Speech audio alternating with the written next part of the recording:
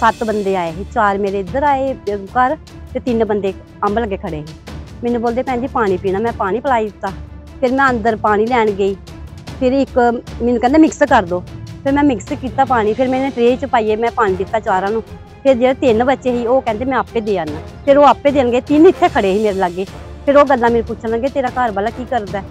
ਮੇਰਾ ਸੀਮਾ ਦੇਵੀ। ਸਿਮਰ ਕੀ ਹੋਇਆ ਕੱਲ ਕੱਲ ਇਹ ਹੋਇਆ ਕਿ ਮੈਂ ਇੱਥੇ ਟੈਂਕੀ ਲੱਗੇ ਖੜੀ ਸੀ। ਸੱਤ ਬੰਦੇ ਆਏ ਸੀ, ਚਾਰ ਮੇਰੇ ਇੱਧਰ ਆਏ ਘਰ ਤੇ ਤਿੰਨ ਬੰਦੇ ਅੰਬ ਲੱਗੇ ਖੜੇ ਸੀ। ਮੈਨੂੰ ਬੋਲਦੇ, ਭੈਣ ਜੀ ਪਾਣੀ ਪੀਣਾ, ਮੈਂ ਪਾਣੀ ਪਿਲਾਈ ਦਿੱਤਾ। ਫਿਰ ਮੈਂ ਅੰਦਰ ਪਾਣੀ ਲੈਣ ਗਈ।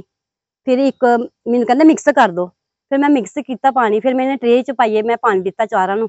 ਫਿਰ ਜਿਹੜੇ ਤਿੰਨ ਬੱਚੇ ਸੀ, ਉਹ ਕਹਿੰਦੇ, ਮੈਂ ਆਪੇ ਦੇ ਆਣਾ ਫਿਰ ਉਹ ਆਪੇ ਦੇਣਗੇ। ਤਿੰਨ ਇੱਥੇ ਖੜੇ ਸੀ ਮੇਰੇ ਲਾਗੇ। ਫਿਰ ਉਹ ਗੱਲਾਂ ਮੈਨੂੰ ਪੁੱਛਣ ਲੱਗੇ, ਤੇਰਾ ਘਰ ਵਾਲਾ ਕੀ ਕਰਦਾ ਫਿਰ ਮੈਂ ਬੋਲਿਆ ਕਿ, ਮੈਂ ਕਿਹਾ ਦਿਹਾੜੀ ਤਾਂ ਪਿਆ ਫਿਰ ਮੈਨੂੰ ਬੋਲਦੇ ਕਿ, ਤੁਹਾਡੇ ਬੱਚੇ? ਮੈਂ ਕਿਹਾ, ਬੱਚੇ ਮੇਰੇ ਦੋ। ਫਿਰ ਕਹਿੰਦੇ, ਠੀਕ ਹੈ। ਫਿਰ ਬੋਲਦੇ ਕਿ ਤੁਹਾਡਾ ਘਰ ਕੱਲਾ ਹੀ ਹੈ। ਮੈਂ ਕਿਹਾ ਨਹੀਂ ਸਾਡਾ ਘਰ ਕੱਲਾ ਨਹੀਂ ਹੈ ਮੇਰੇ ਦੋ ਤਿੰਨ ਘਰ ਨਾ ਸਾਡੇ। ਕਹਿੰਦਾ ਅੱਛਾ। ਫਿਰ ਉਹ ਚੱਲ ਗਏ ਫਿਰ ਉਹ ਪਿੱਛੇ ਮੁੜੀ ਮੁੜੀ ਮੈਨੂੰ ਦਿਖਣ ਵੀ ਕਿਤੇ ਰੋਲਾ ਤਾਂ ਨਹੀਂ ਕਿਤੇ ਪਾਏ ਕਰਦੀ। ਕਿਦਾਂ ਲੱਗਦਾ ਸੀ ਦੇਖਣ ਦੇ ਵਿੱਚ? ਉਹ ਇਆਂ ਡੋਮੇ ਜਿਹੇ ਲੱਗੇ ਦੇ ਕਾਲੇ ਕਾਲੇ ਇਆਂ ਕੁਛ ਲੰਬੇ ਚੰਬੇ ਬੜੇ ਤੱਕੜ ਜਵਾਨ ਸੀ ਉਹ। ਤੋ ਇਹ ਤੇ ਡੋਮੇ ਜਿਹੇ ਬੈਗ ਚੁੱਕੇ ਦੇ ਵੱਡੇ ਵੱਡੇ ਹੋਣਾ ਕੋਈ ਹੱਥ ਵਿੱਚ ਹਥਿਆਰ ਵਗੈਰਾ? ਕੁਛ ਵੀ ਨਹੀਂ ਆ ਸਿਰਫ ਬੈਗ ਚੁੱਕੇ ਦੇ ਵੱਡੇ ਵੱਡੇ। ਆਏ ਕਿਧਰੋਂ ਤੇ ਗਏ ਕਿਧਰ ਨੂੰ ਸੀਗੇ? ਆਏ ਉੱਪਰੋਂ ਸਾਡੇ ਇਧਰ ਉੱਪਰਲੀ ਸਾਡੋ। ਪੇਠੀਆਂ। ਤੇ ਗਏ ਵੀ ਉਧਰ ਉੱਪਰ ਉੱਪਰਲੀ ਸਾਈਡ ਗਏ ਸਾਡੇ ਖੇਤਰਾਂ ਚ। ਇਹ ਏਰੀਆ ਜਿਹੜਾ ਆ ਜੰਗਲਾਤ ਦਾ ਕਿਦਾਂ? ਆ ਰਹੀ ਹੈ ਸ਼ਿਕਾਇਤ ਕੀਤੀ ਤੁਸੀਂ ਪੁਲਿਸ ਨੂੰ? ਹਾਂਜੀ ਰਾਤੀ ਆਏ ਸੀ ਉਹ ਵੀ।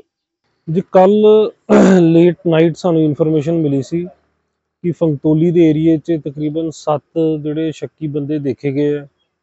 ਇਹ ਇੱਕ ਘਰ ਸੀ ਪਹਾੜ ਦੇ ਉੱਪਰ। ਉਹਦੇ ਉੱਪਰ ਜਿਹੜੇ ਹੈ ਕਿ ਵੀ ਉਸ ਘਰ 'ਚ ਕੁਝ ਬੰਦੇ ਪਾਣੀ ਪੀਣ ਆਏ ਸੀ। ਤੇ ਜਦੋਂ ਆਪਾਂ ਇਨੀਸ਼ੀਅਲ ਪੁੱਛਗਿੱਛ ਕੀਤੀ ਹੈ ਤੇ ਉਹਨਾਂ ਨੇ ਦੱਸਿਆ ਕਿ ਇਹ ਬੰਦੇ ਕੋਈ ਸ਼ੱਕੀ ਜਾਪਦੇ ਆ ਤੇ ਜੰਗਲ ਵਾਲੀ ਸਾਈਡ ਤੋਂ ਆਏ ਸੀ ਤੇ ਪਾਣੀ ਮੰਗ ਕੇ ਉਧਰ ਨੂੰ ਚਲੇ ਗਏ। ਇਹਦੇ ਕਈ ਐਂਗਲ ਹੋ ਸਕਦੇ ਆ। ਕੋਈ ਜੰਗਲ 'ਚ ਵੀ ਕੰਮਕਾਰ ਕਰਦਾ ਹੋ ਸਕਦਾ ਕੋਈ ਉਧਰ ਨੂੰ ਆਇਆ ਹੋਵੇ, ਪਾਣੀ ਮੰਗਿਆ ਹੋਵੇ। ਜਾਂ ਇਹ ਜਿਸ ਤਰ੍ਹਾਂ ਦੱਸਿਆ ਗਿਆ ਕਿ ਵੀ ਸ਼ੱਕੀ ਬੰਦੇ ਵੀ ਹੋ ਸਕਦੇ ਆ। ਸਾਰੇ ਐਂਗਲ ਆਪਾਂ ਵੈਰੀਫਾਈ ਕਰ ਰਹੇ ਆ ਸਵੇਰੇ ਅੱਜ ਉੱਥੇ ਜਿਹੜਾ ਉਹ ਮਿਲਟਰੀ ਤੇ ਪੁਲਿਸ ਵੱਲੋਂ ਜੁਆਇੰਟ ਸਰਚ ਕੀਤੀ ਜਾ ਰਹੀ ਹੈ ਇਸ ਏਰੀਏ 'ਚ। ਤੇ ਆਪਾਂ ਜਿਹੜਾ ਕੱਲਾ ਕੱਲਾ ਏਰੀਆ ਉਹ ਸਾਰਾ ਚੈੱਕ ਕਰਾਂਗੇ। ਤੇ ਇਹਦੇ ਬਾਅਦ ਜਿਹੜੀ ਵੀ ਗੱਲ ਸਾਹਮਣੇ ਆਂਦੀ ਤੁਹਾਡੇ ਨਾਲ ਸ਼ੇਅਰ ਕਰਤੀ ਜਾਏਗੀ ਸਰ ਕੋਈ ਹੁਲੀਆ ਵਗੈਰਾ ਜਾਂ ਕੋਈ ਉਹਨਾਂ ਕੋਲ ਅਸਲੇ ਵਗੈਰਾ ਪਤਾ ਚੱਲਿਆ? ਜੀ ਅਸਲਾ ਉਹਨਾਂ ਕੋਲ ਕੋਈ ਨਹੀਂ ਸੀ। ਜਿਨ੍ਹਾਂ ਨੇ ਦੇਖਿਆ ਉਹਨਾਂ ਦੇ ਅਨੁਸਾਰ ਉਹਨਾਂ ਨੇ ਕਿਹਾ ਕਿ ਵੀ ਸੱਤ ਕੁ ਬੰਦੇ ਸੀ। ਤੇ ਇਹ ਜੰਗਲ ਵਾਲੀ ਸਾਈਡ ਤੇ ਪਿਛਲੀ ਸਾਈਡ ਤੋਂ ਚੜ ਕੇ ਉਧਰ ਉਹਨਾਂ ਦੇ ਘਰ ਵੱਲ ਆਏ ਸੀ ਤੇ ਉਹਨਾਂ ਨੇ ਪਾਣੀ ਮੰਗਿਆ ਸੀ। ਤੇ ਬਾਕੀ ਅਸਲਾ ਉਹਨਾਂ ਕੋਲ ਕੋਈ ਨਹੀਂ ਸੀ ਤੇ ਉਹਨਾਂ ਦੇ ਅਨੁਸਾਰ ਇਹ ਸ਼ੱਕੀ ਬੰਦੇ ਲੱਗ ਰਹੇ ਸੀ ਤੇ ਆਪਾਂ ਇਸ ਲਈ ਇਹਨੂੰ ਬੜੇ ਸੀਰੀਅਸਲੀ ਲਿਆ ਇਸ ਚੀਜ਼ ਨੂੰ ਤੇ ਆਪਾਂ ਇਹਨੂੰ ਚੈੱਕ ਕਰ ਰਹੇ ਹਾਂ। ਬਾਕੀ ਜਿਹੜੀ ਕੋਈ ਗੱਲ ਸਾਹਮਣੇ ਆਏਗੀ ਤੁਹਾਨੂੰ ਦੱਸ ਦਿੱਤੀ ਸਰ ਇਸ ਤੋਂ ਪਹਿਲੇ ਵੀ ਚੱਕ ਮੈਸਾਨਾ ਦੀ ਵਰਦੀ ਦੇ ਵਿੱਚ ਦੇਖੇ ਗਏ ਸੀਗੇ। ਕੀ ਲੱਗਦਾ ਕਿ ਉਹਦੇ ਨਾਲ ਇਹ ਰਲਦੇ ਮਿਲਦੇ ਹੋਣ? ਜੀ ਇਹਦੇ 'ਚ ਕੋਈ ਸੈਨਾ ਦੀ ਵਰਦੀ ਵਾਲੀ ਗੱਲ ਉਹਨਾਂ ਨੇ ਕੀਤੀ ਨਹੀਂ ਉਹ ਸਿਵਲ ਕੱਪੜਿਆਂ 'ਚ ਸੀ।